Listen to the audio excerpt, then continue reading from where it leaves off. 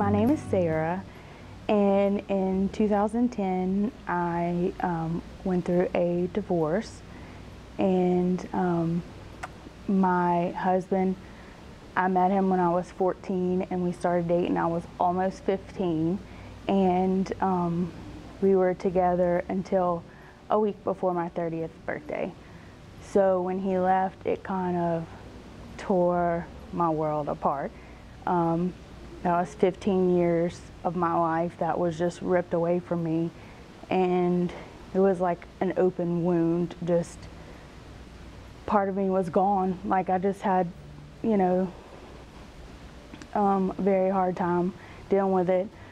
I didn't know anyone personally that I could call up and say, hey, how did you handle your divorce? Um, you know, what did you do?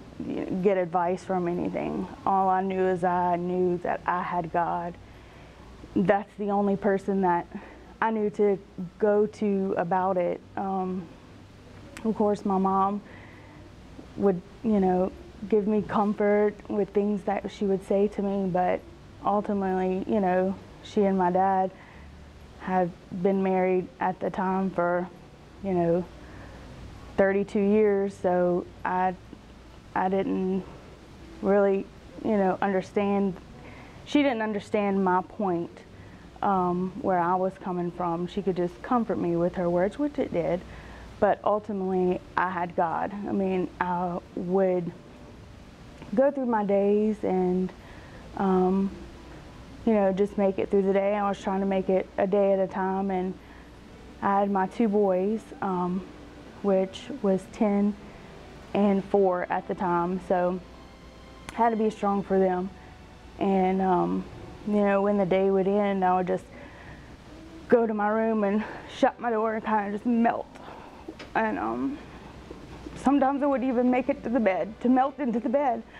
Sometimes I just fell on the floor. And um, all I could do was cry out to God.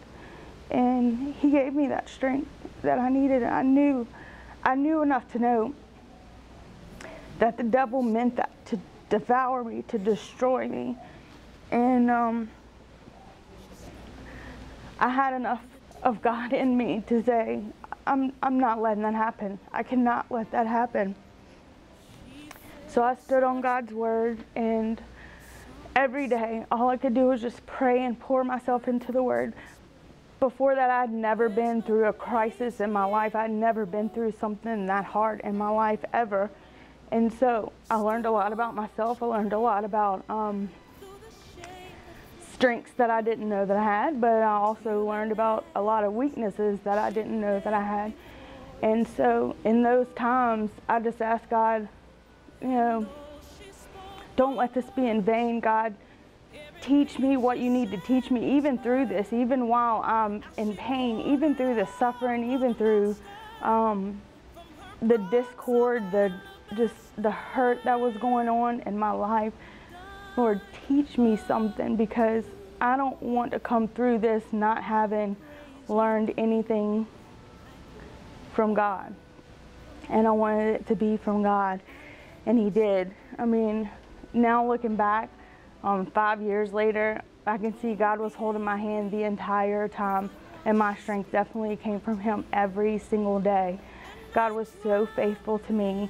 He provided for me, you know, every step of the way, and I'm just so grateful. I'm so thankful that, you know, He extends that grace to us even through our times of hurting, even through our times of pain, suffering, whatever we're going through, even though like for me, I didn't have anybody else to turn to to ask, you know, advice, things like that. He was still there for me. Um, he gave me the strength that I needed and um, to keep me strong every single day. Um, the song Alabaster Box is really um, has always stood out to me, but even more so um, when I sang it on Good Friday, you know, it really hit home because um, I hadn't sang it since I've gotten divorced. And, and the part where it comes and says, you know, she poured her life without measure into this little treasure box. you know, I poured everything that I had into my marriage, to my family, and, um, and then it's kind of taken away from you, and, you know, you, um, you don't know what people are going through. Um, some things look fine on the outside, you know, yeah, sometimes you can hold it together pretty good and, you know, still get that smile out there, but you don't know what these people are going through that you come in contact with every day. And in the song it says, you don't know the cost of my praise, what I gave for that box of oil.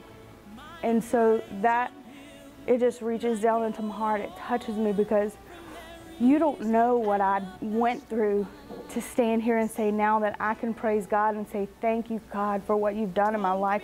Thank you God for the things that you have that turn for the good, that the devil meant for harm for me. You turn them and you work them for my good. You don't know what I went through to get here to where I am today to say, God, I'm going to serve you. I'm going to still serve you through it all. I'm still going to give you my praise.